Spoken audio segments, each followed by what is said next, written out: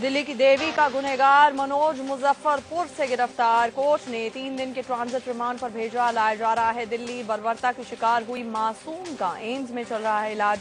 हालत नाजुक। दिल्ली रेप मामले पर महा, महाराष्ट्रपति ने जताया दुख। कहा, दोषियों पर की जाएगी कड़ी कार्रवाई। साथ ही पूछा सवाल, बच्चों की सुरक्षा में नाकामी क्यों?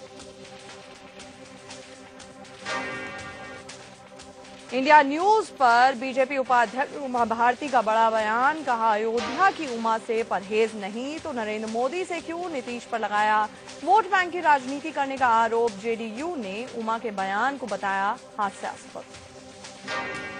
इंडिया न्यूज़ पर गोविंदाचार्य का बड़ा खुलासा, अगले दो महीने में बनाएँगे नई राजनीतिक पार्टी।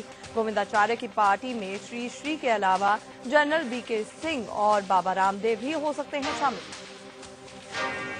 लालकृष्ण आडवाणी के आवास पर आज होगी एनडीए नेताओं की बैठक। बीजेपी और जेडीयू के रिश्तों के साथ साथ संसद सत्र को लेकर बनेगी रणनीति। पीएम पद के उम्मीदवार पर चर्चा संभव। और चीन के उत्तर पश्चिमी सिंचुआन प्रांत में जलजला। रिक्टर स्केल पर छह दशमलव छह की तीव्रता, सत्तर से ज़्यादा लोगों की मौत 600 से ज़्यादा जख्मी, राहत और बचाव कार्य जारी।